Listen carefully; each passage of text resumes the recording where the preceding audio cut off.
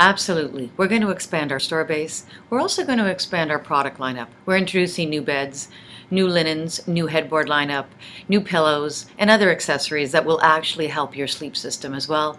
And we're also going to invest in more advertising dollars. We really think it's important for us to differentiate ourselves from the competition by talking about what we do differently. Our sleep experts, the in-store experience, our home delivery experience, and we're going to talk about our new product lineup.